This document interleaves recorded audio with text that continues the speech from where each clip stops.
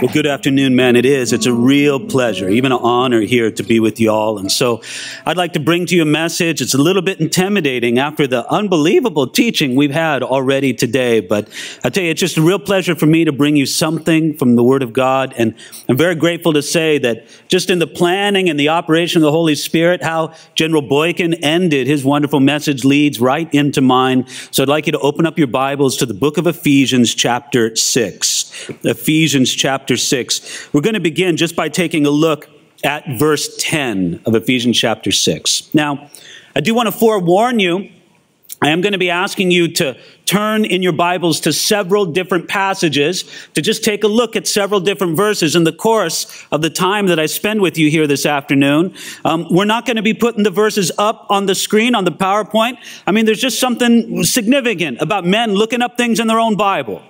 I mean, even if you're looking at on your smartphone or whatever, at least you're looking it up on your own Bible or device or whatever. So we're going to do that together. Ephesians chapter 6, we're going to start at verse 10. Father in heaven, I pray,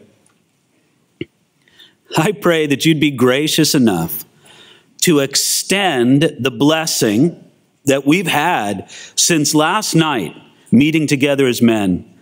Lord, would you please just extend that uh, another 45 minutes or so? and pour out your grace upon us now as we take a look at your word. And I pray that you'd speak to us as men in Jesus' name. Amen. Ephesians chapter 6, verse 10. Now I trust that this is a rather familiar passage to many of you. If it's not, I give you a real charge just from one man to another. You need to be very familiar with this passage that speaks about the warfare that every Christian man takes part of in this spiritual sense. It's essential that you become aware of this. And there's a lot of good teaching. So if you're not very familiar with this passage, I, I, get away and study it for yourself. I imagine that your pastor probably has a wonderful teaching series on this very passage. So I'm going to speak to you as men who are already somewhat familiar. And I'm just really going to emphasize one aspect of this. And I think you can tell just as I read these first few verses. Ephesians chapter 6, starting out verse 10. Finally, my brethren, be strong in the Lord and in the power of his might. Put on the whole armor of God that you may be able to stand against the wiles of the devil. For we don't wrestle against flesh and blood, but against principalities, against powers, against the rulers of the darkness of this age, against spiritual hosts of wickedness in the heavenly places. Therefore, Take up the whole armor of God that you may be able to withstand in the evil day. And having done all, to stand. And then look at just the beginning of verse 14. Stand, therefore. Guys, do you get a theme here in these verses? Isn't it pretty powerful how Paul, in this whole section of introducing the armor of God, something that's essential for a productive and protected and successful Christian life, for every follower of Jesus Christ, that he emphasizes actually what the armor of God is for. What is it given to us for? It's so that we can stand so that we can withstand the attacks of the enemy, and that we can therefore stand, especially in the evil day. You could describe it like this that to stand describes what we use the strength of God, because remember how he begins this section be strong in the Lord and in the power of his might. Okay, great. What do I use the strength of God for? Paul would say, stand. And, and, then I have all this spiritual armor. I have the, the breastplate of righteousness. I have the helmet of salvation. I have the sword of the Spirit. I have the whole equipping that God gives to the man of God. What do I do with it? Stand, Paul says. That's to be the result that it works in the life of a Christian soldier. Now, you know, when you think about soldiers and warfare and armies and all their operations, you think about it that there's several different aspects to the battle to be fought there is very definitely an offensive or an aggressive, an attacking mode that sometimes we take in the conduct of our spiritual lives and living out our lives as Christian men. You see, sometimes there's the offensive maneuvers. There's the attack where we uh, assault the kingdom of hell and we're sort of on patrol against demons and spiritual enemies. I mean, you guys know what it says in Matthew chapter 16, don't you? Where Jesus said, And also I say to you, that you're Peter, And on this rock I will build my church, and the gates of Hades shall not prevail against it. And some people have taken that image to kind of have this idea that the church is to assault the gates of hell. Now, technically, in that particular passage, I don't really believe that that's what it's speaking about. It's important to understand what's meant by that ancient phrase, the gates of Hades. You see, in the ancient world, the city council and the judges and the city leadership would gather together at the gates of the city and they would plan the city's operations and they would govern the, the city's uh, works and all the rest of it. It was the place where strategy was made. And so when Jesus talks about the gates of Hades, he really means the satanic strategies, the, the plots from hell. And he's telling us that no plot from hell is ultimately going to succeed against the church. And that's a very precious promise, isn't it? So I don't think Jesus is necessarily telling us that we have to assault the gates of hell yet. Isn't it true that sometimes in living our Christian life and taking up opportunities for the kingdom of God, it is very much like that? There's some corner of darkness in the own neighborhood where we live, whether you live in a high neighborhood or a low neighborhood. There's some place where Satan's triumphing, and sometimes we just feel that the Spirit of God would lead us to make an assault for the kingdom of God upon that place. There is very much a place for this sort of uh, offensively minded, attacking viewpoint in the Christian life to say, listen, the devil has seized that ground and we're going to take it back in the name of Jesus. But listen, I want you to understand is that's not what the apostle Paul primarily has in mind in this passage in Ephesians 6. Did you ever notice that? In Ephesians chapter 6, the image that's most ready in Paul's mind is not primarily of the church going out and attacking and seizing ground, even though there is a legitimate place for that concept. The dominant image in the apostle Paul's mind is that the church stands that Christian men link together as soldiers and they stand against the wiles and the operations of the devil. And I think this is a very important concept. You know, if you want to think about it in terms of the ministry of Jesus, I don't really think that Jesus patrolled around looking for demons to conquer. You know, that would almost allow demons to set the agenda for Jesus' ministry. Instead, Jesus knew what God the Father wanted him to accomplish. And he went out with a single mind and a single heart to go out and to accomplish the will of God under the leading of the Holy Spirit. And wherever satanic opposition came in the way, he blew right through it. So many times, Jesus was simply living his life and doing his ministry under the operation of the Spirit of God, and he would be confronted by an aggressive demonic opponent. And Jesus would basically said, you're not gaining any ground here. I'm standing against you. Remember that with the Gadarene demoniac? Where the Gadarene demoniac tried to intimidate Jesus by just saying, We're not one, we're an entire legion. What did Jesus say? Oh my, that's so scary. I don't know what I'm going to do. Jesus said, I'm standing against. You get out. You don't belong here. And Jesus did exactly what Paul counseled here in Ephesians chapter 6 for believers to do. He stood. He made his stand. Look at it again. I'll just read you from verses 11 and 13 again of Ephesians chapter 6. He says this, put on the whole armor of God that you may be able to stand against the wiles of the devil. And then now verse 13. Therefore take up the whole armor of God that you may be able to withstand in the evil day and having done all to stand. It's a very powerful military picture, this idea to stand. You know, in military history, there's this great and glorious lineage of those who made a stand against sometimes an insurmountable enemy, but they made a stand at a critical time.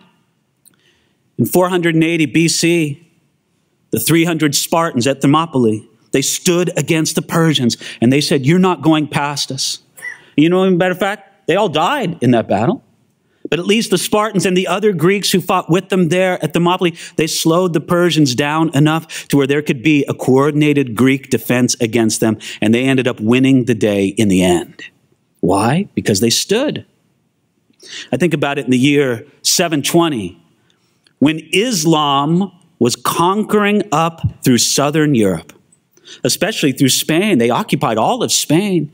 And as they began to move the line of their civilization up north towards Europe, there, near the city of Tours in France, Charles Martel, Martel means the hammer. Isn't that a great nickname to have?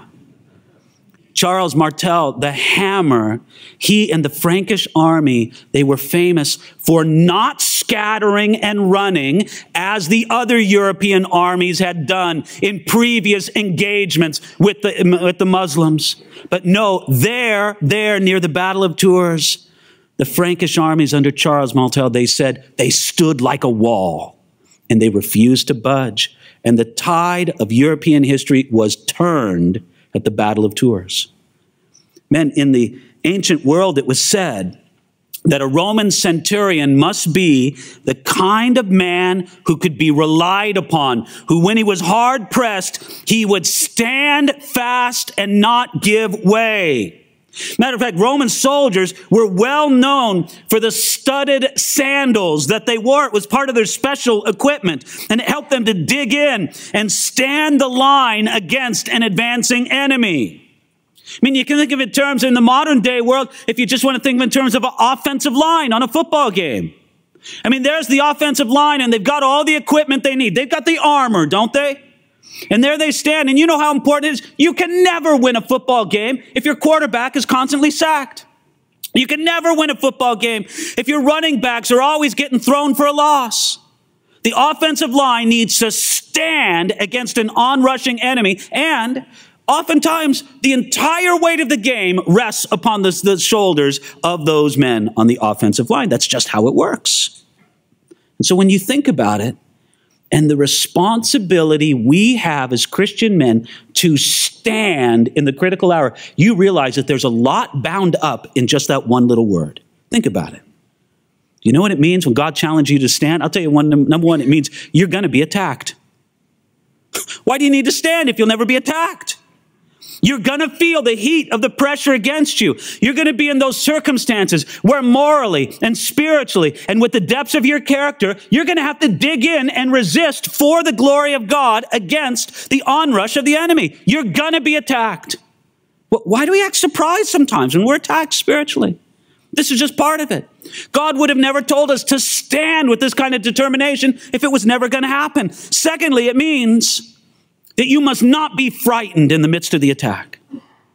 Can you imagine a whole cohort of soldiers trying to stand against an advancing enemy, and one of them seizes in fright and lets the enemy through on that one point of the line? The battle's lost. No, you must not be frightened. You must say, This is just part of the battle, and God giving me strength. I'm not going to be intimidated. I'm going to advance forward and hold my ground, God helping me.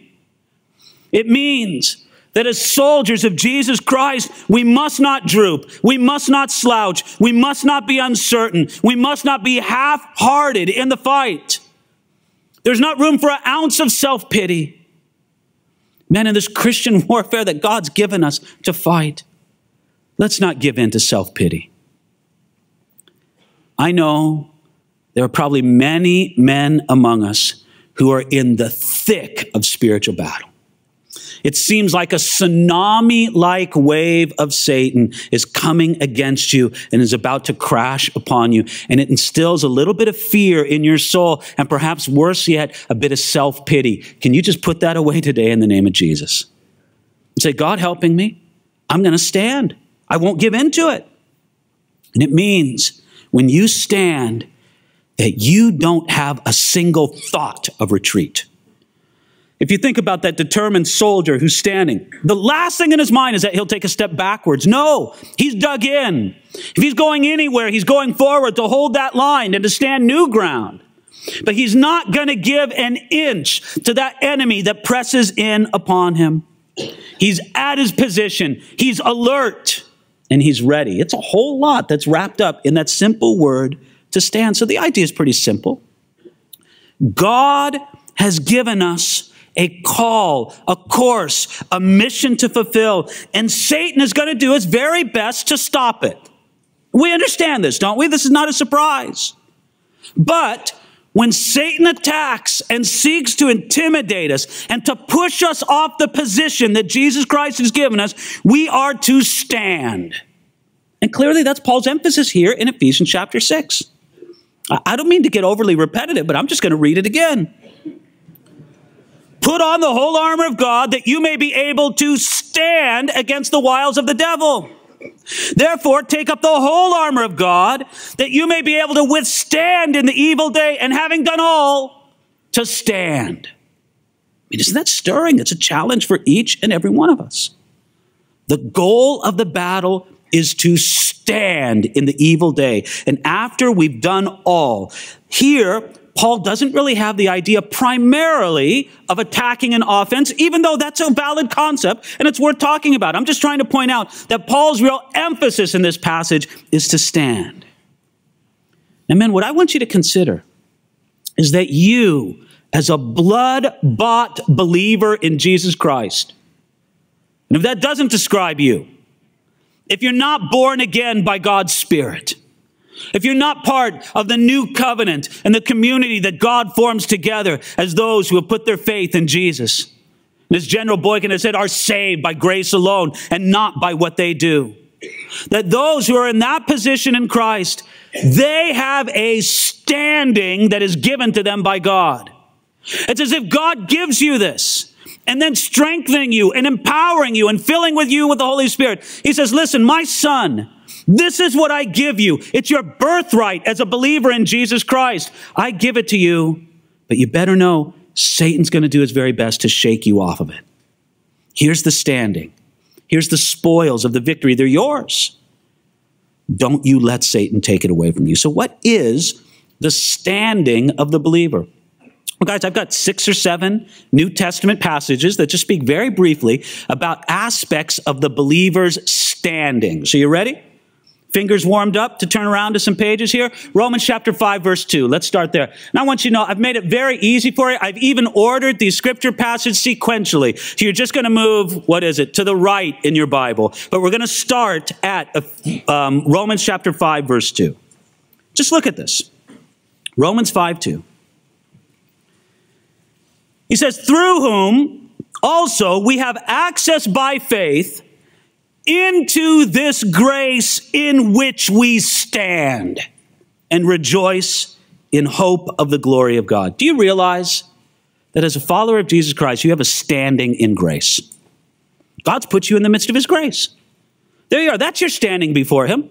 You don't stand in works. You don't stand in law. You certainly don't stand in condemnation or judgment. God's giving you this standing of grace. Amen. How do you know or how many of you know that the devil would love to shake you from that standing of grace? That this is a position that God has given you. And now he says, I'm going to equip you with the armor of God so that you can dig in and prevent Satan from shaking you from this glorious standing that I've given you. How many men have been removed from their standing in grace and now they live in law? Now they live in legalism. Now they live under the condemnation of guilt. Now they live in this idea that it's primarily by their own works that they achieve a right standing with God instead of based on what Jesus Christ has done for them. You see the simple point I'm trying to make? This isn't complicated. I'm just trying to tell you. God has given you a standing of grace. The devil wants to shake you from it. Don't let him do it. That's pretty simple, isn't it?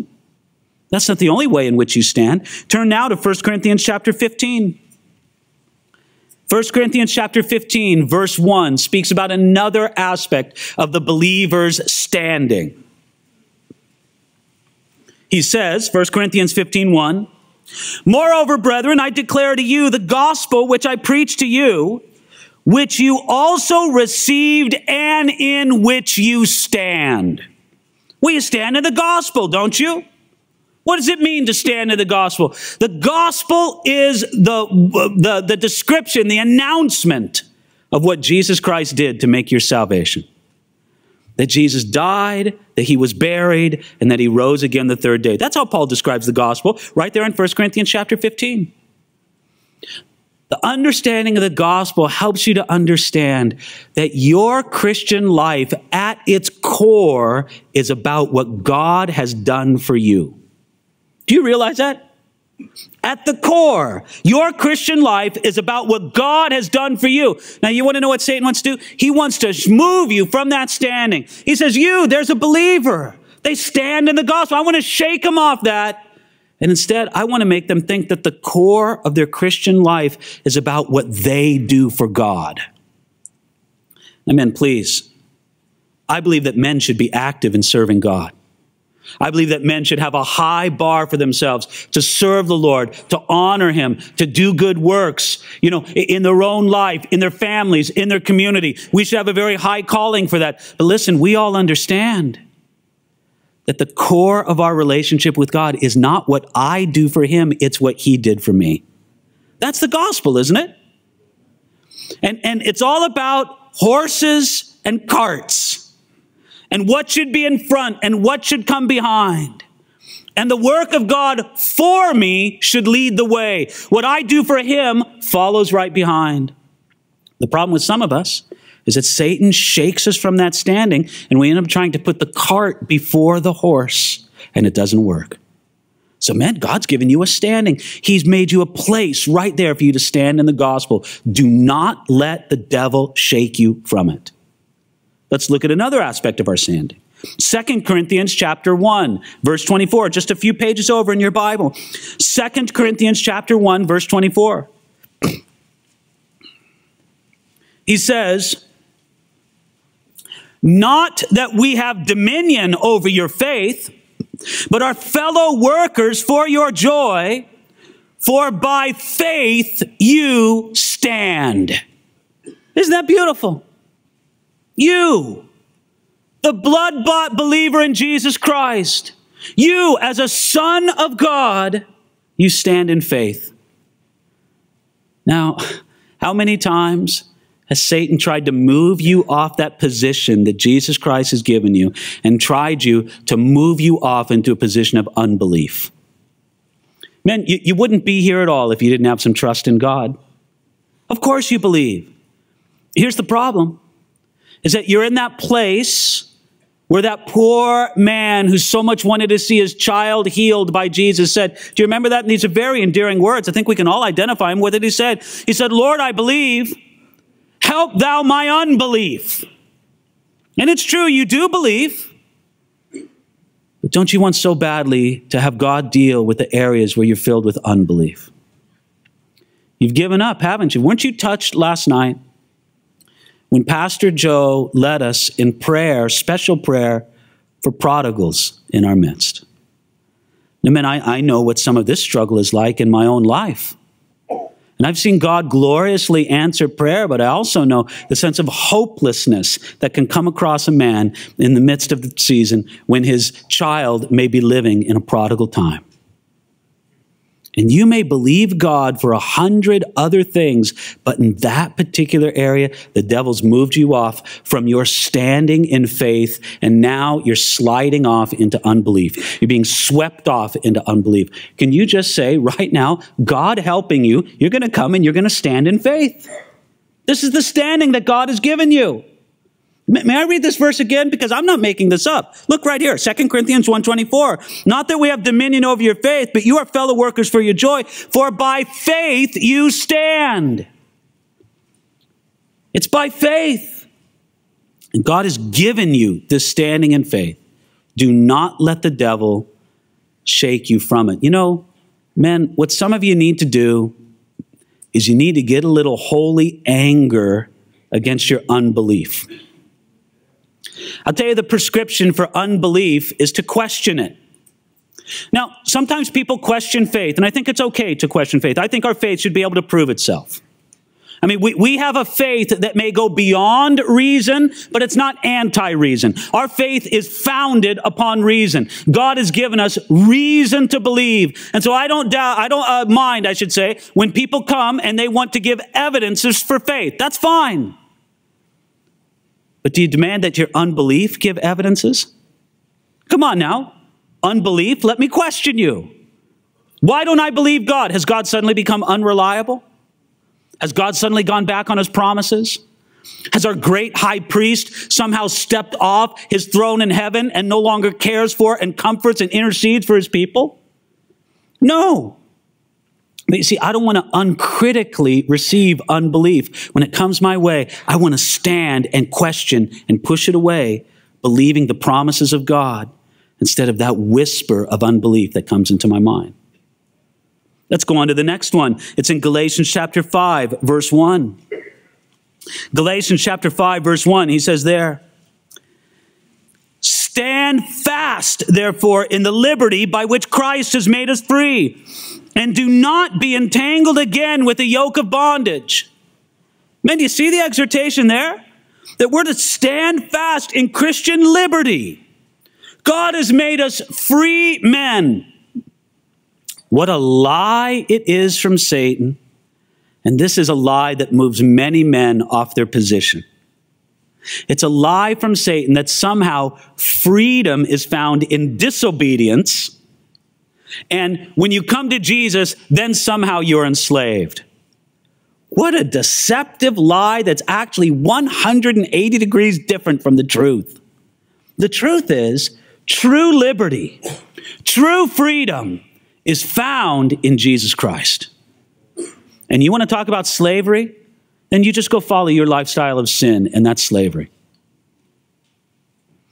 You know, it's really wonderful illustration that I heard when I was just a young Christian, but it's really a very powerful one. It really stuck in my mind.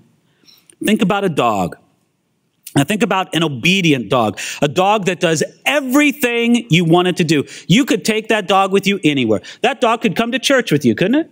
Because it does it. You say sit, it sits. You say be quiet, be quiet. You say come, it comes. You say don't wet on the floor, it doesn't wet on the floor. A dog that's perfectly, it has total liberty. It can go with you everywhere. But let's say that a crossways thought gets in that dog's mind and that dog says simply, I'm going to do whatever I want to do. I'm going to bite who I want to bite. I want to bark where I want to bark. I'm going to pee where I want to pee over and over again.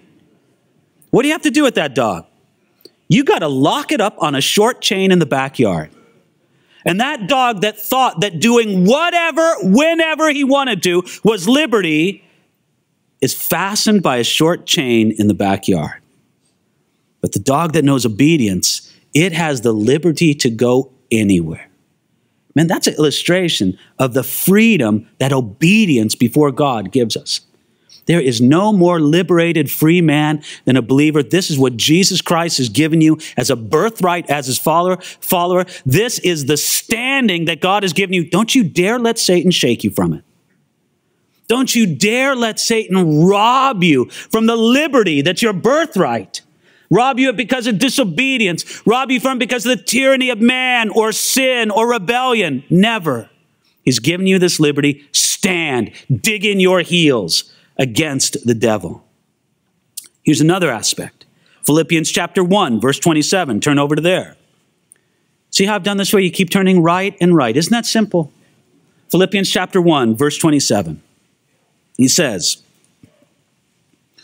Only let your conduct be worthy of the gospel of Christ, so that whether I come and see you or am absent, I may hear of your affairs, that you stand fast in one spirit, with one mind, striving together for the faith of the gospel. Do you see what he's saying right there? That we stand together in Christian unity. Let me read the essential line there from verse 27 again. That you stand fast in one spirit. One of the dominant themes of this letter that Paul wrote to the church in Philippi was the idea of unity. There's several different dominant themes in Philippians, but that's one of them. It's unity. And here he's telling them, you stand fast in that unity. God has given you this position. Men, the glorious truth about the unity that God has given us is that is the gift of Jesus Christ that joins us together. Jesus does not separate his people. Man does that. Matter of fact, we are even not told to achieve the unity, but rather to simply receive it and to walk in it and to uh, bear with, to, to, to endure it, to keep it going, the unity of the Spirit that God gives us. And isn't this fantastic? God has given us as men this position where we are one in the body of Christ. How dare we let Satan push us off that position and divide us unnecessarily? Listen, we are brothers and we stand together. how Satan would love to slice us and dice us and divide us. But instead, what do we do? We say, no, I'm going to stand against that. I see the unity that God has given us that is our birthright as the followers of Jesus Christ. We will not give an inch on that quarter. All right, just a couple more. Philippians chapter 4, verse 1. Take a look at this one. He says, Therefore, my beloved and longed for brethren, my joy and crown, so stand fast in the Lord, my beloved. Isn't this simple? Where are we to stand? We're to stand in the Lord. And to keep a God focused Christian life. Now, I say that, you might think, well, David, that's the most obvious thing in the world to have a God focused Christian life. Is it really? Do you realize how many people fill churches every week that actually do not have a Jesus focused Christian life? They have a social focused Christian life. They have an events focused Christian life. They have a religious ritual focused Christian life. They have a, a, a, a, good deeds or on and on focused Christian life. The one thing that they refuse to focus on is Jesus himself. But no, no, no. We stand fast in the Lord. Now, again, I want you to have this position. I want you to have this mental picture vitally in your mind that you're like a soldier standing on this position. God has put you on this piece of real estate that you stand in the Lord. And I just want you to imagine that Satan wants to push you off of that position. He doesn't like it that you stand in the Lord. That's a threat to him and to his kingdom.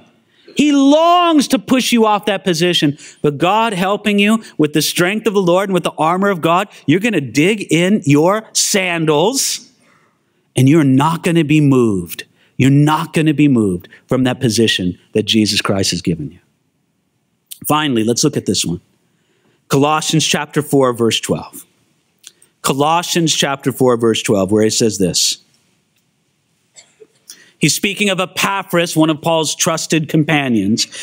He says, Epaphras, who is one of you, a bondservant of Christ, greets you, always laboring fervently for you in prayers, which is a beautiful idea. There's Epaphras, laboring in prayers. By the way, just a side comment, men, you know that, that sometimes prayer is sweet and glorious and just feels wonderful. Other times it's just flat out hard work laboring fervently in prayers. Now go on the rest of the verse, verse 12. That you may stand perfect and complete in all the will of God. Isn't this the standing that Jesus Christ has given you? That you would be perfect and complete and in all the will of God.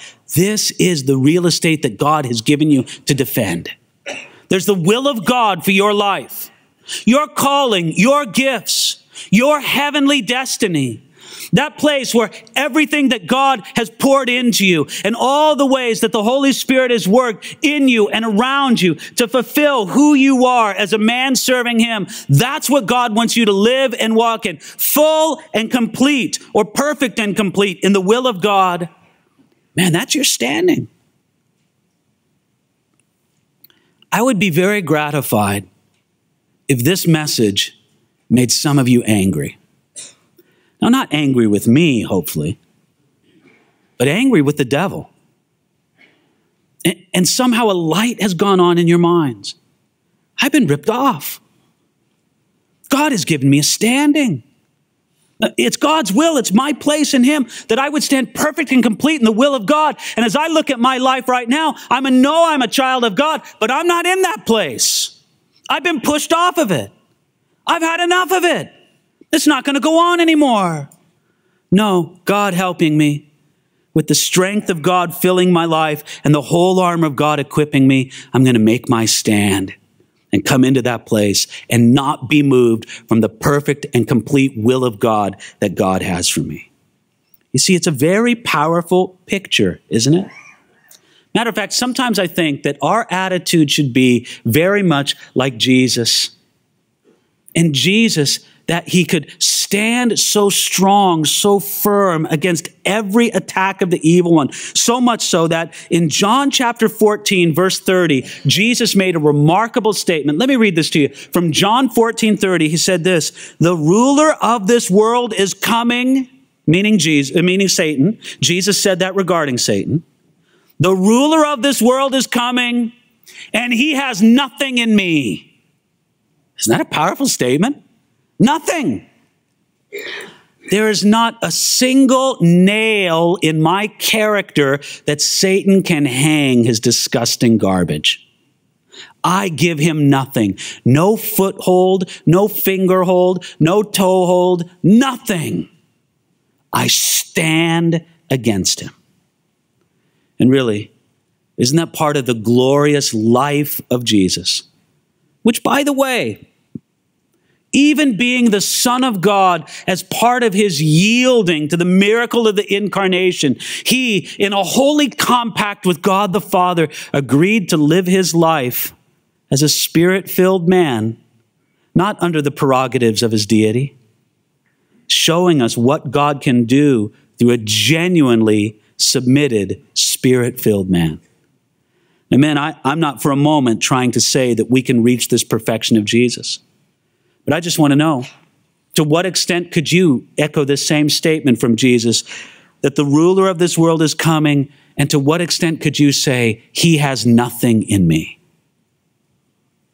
You look around, there's different hooks, there's different nails, there's different footholds in your life where Satan can make a grasp or hang his disgusting garbage. That's not standing. You know, to sort of mix metaphors a little bit, you make the stand and you make it by removing to the best of your ability before God any opportunity that Satan has to gain a foothold or to make an attack against you. Is this a wonderful idea? Can you let this sink down deeply into your thinking and saying, Yes, Lord, you've given me a standing, you've given me a position, and I don't want to be shaken from it. Now, let me add one place where you should not make a stand in a sense. And if you want to turn to that, keep turning right. Go to 2 Timothy chapter 2, verse 22. I'm asking you to turn to one more passage more than anything just because I love the sound of Bible pages turning. 2 Timothy chapter 2 verse 22, do you know this verse? What does he say? He says, "Flee also youthful lusts, but pursue righteousness, faith, love, peace with those who call on the Lord out of a pure heart." Where does he say? Paul doesn't say make a stand here. When youthful lusts come, what do you do? You flee. And I just want to say, and I mean, I can say, and General Boykin referred to it as well, but I think we can make reference to it. You don't have to be young to be under attack from youthful lusts. But when they come, flee. Don't stand in their presence. Don't try to act like what a strong man you can be, how much temptation you can resist when it comes to youthful lusts that come against you. What do you do? You flee for safe ground. And when they're, make your stand at the safe ground, but remove yourself from those youthful lusts. That's an aspect of cleansing that Paul is mentioning to Timothy. And those youthful lusts describe any of the desires and the temptations that are especially prominent among those who are adolescent or young adults. Sexual temptations, the illicit temptations or pleasures of the flesh, the longing for fame and glory. Those often mark one's youth. And what does Paul say to do? To flee them. I like that contrast. Yeah, there's places to stand in the Christian life, and there's other places to say, get yourself out out of there. Remove yourself from that dangerous environment. And so he says, don't entertain the youthful lust. Don't challenge them. Don't try to endure them. That idea, oh, I'll just test myself on this one to see if I can stand against it. Hasn't that made many, many men fall into sin? And I'll add this. Men, if you cannot flee youthful lusts, then there's a real limit to how much God can use you. There's a limit to how useful to the master you can be. You can't really say yes to God until you can say no to some other things. And so he says, flee those youthful lusts. But back to our major point, with those rare exceptions, what does God tell us to do in regard to the strength of the Lord and the spiritual war that he gives us to fight? What does he say? He says, stand. Now, let me add one last aspect to this. Stand, but don't stand alone. Amen. There may be rare occasions in your life or my life where God calls us to stand alone.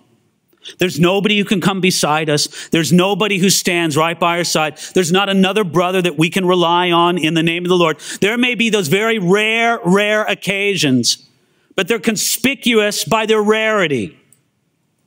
In everyday walking with God, we can only stand if we stand with our other brothers. You know, this was very well known in ancient warfare. The Greek phalanx and its evolution to the Roman legions was organized so that men could stand together locked in combat. They had a way of arranging themselves as soldiers and locking themselves together. They were like an impenetrable wall.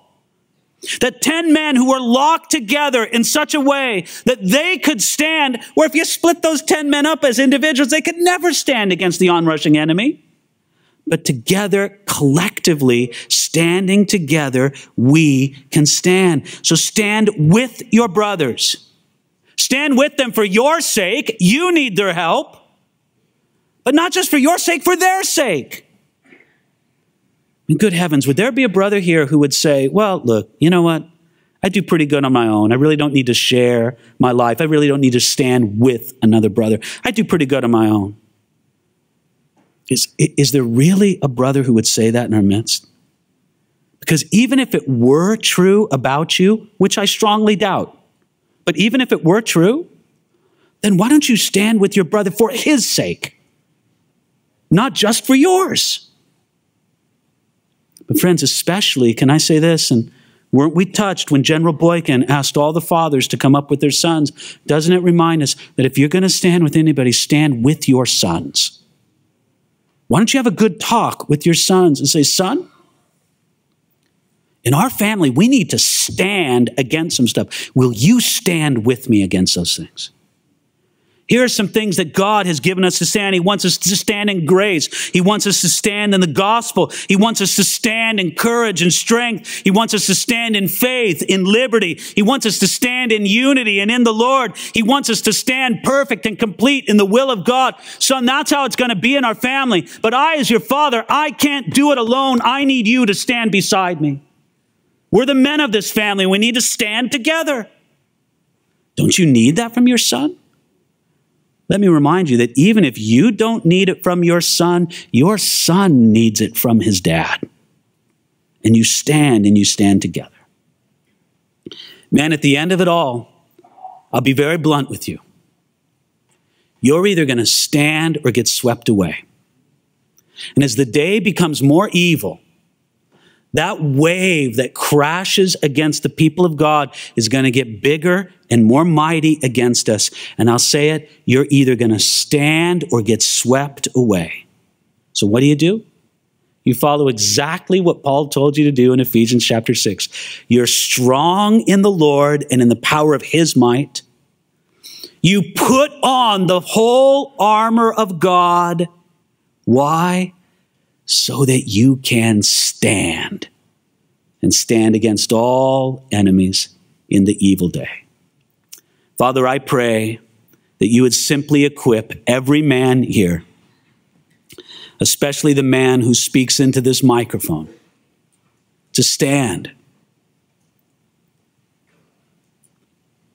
We feel, Lord, as if there's a mighty enemy